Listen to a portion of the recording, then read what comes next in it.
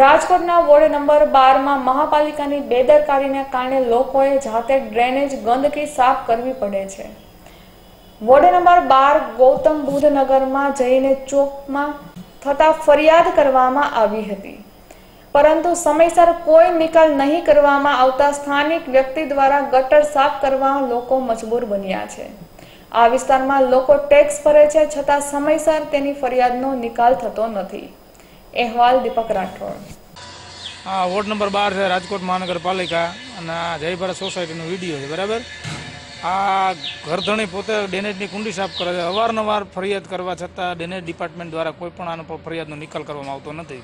આ રોગચાળો આ એટલું બધું ડેનેજનું ખરાબ પાણી ભરાણું છે કાંકી ફાઇટ ભરાણી બરાબર? સમુદ્ર જેવું તળાવ જેવું. પણ ના છૂટકે ફરિયાદ કરવા છતાં કોર્પોરેશનના કર્મચારીઓ દ્વારા ફરિયાદ નિકાલ કરવામાં આવતો નથી. આ સિત્તેર વર્ષના વૃદ્ધા છે એ પણ અત્યારે લાકડી મારી અને કુંડી સાફ કરવાની કોશિશ કરી રહ્યા છે બરાબર? ચાર વાર ફરિયાદ કરવા છતાં આજની તારીખ સુધી ડેનેજ ડિપાર્ટમેન્ટ દ્વારા જોઈ અને વયા જાય છે પણ કામ કરવામાં આવતું નથી. અને આ જાતે સાફ કરે છે કુંડી અને આ તમે જોઉં છો ને આ પાણીનો આખો આ આખું તળાવ ભર્યું છે. આ ડ્રેનેજના પાણીનું તળાવ છે ખરાબ પાણીનું. જે ગંદકીમાંથી બરાબર? આ મચ્છર રોગચાળો કોરોનાની મહામારી હોય અને આ પ્રકારનું કામગીરી અહીંયા થઈ રહી છે. અને આ માન્ય મેયરશ્રીનો વોર્ડ છે. જો મેયરશ્રીના વોર્ડમાં આવી હાલત હોય તો રાજકોટના બીજા વોર્ડમાં બીજા વિસ્તારમાં કઈ પ્રકારની હાલત હશે? આ તમે જોઈ રહ્યા છો આ ડેનેજનું પાણી કુંડીમાંથી પસાર થઈ રહ્યું છે. આ ભાઈ અહીંયા સાફ કરી રહ્યા છે બરાબર? જોવું તમે આ તમે જોઈ રહ્યા છો.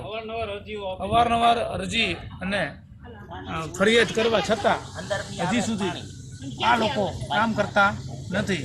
અને અધિકારીઓ જવાબ પણ દેતા નથી. આ તમે જોઈ રહ્યા છો. આ ભાઈ જે કુંડી સાહેબ કરી ગરધણી છે પોતે બરાબર? ડેનેજના કર્મચારીઓ આવી અને વયા જાય છે. હજી સુધી સાફ કરવામાં આવતું નથી. આ પાણી તમે જોયું છે, આ પાણી અહીંયા આવી, આખી ડેનેજની લાઈન ચોકઅપ હોવા છતાં એની ફરિયાદ નિકાલ કરવામાં નથી આવતો. આવી ગંદકીમાં આ લોકો રહે છે અને આ ડેનેજનું તળાવ ભરાણું છે, ખરાબ પાણીનું. બરાબર? તો માન્ય કમિશનર સાહેબને વિનંતી કે આ ફરિયાદનો તાત્કાલિક યોગ્ય નિકાલ કરાવે. અને આ મહામારી જો ફેલાશે તો એને જવાબદાર કોણ રહેશે?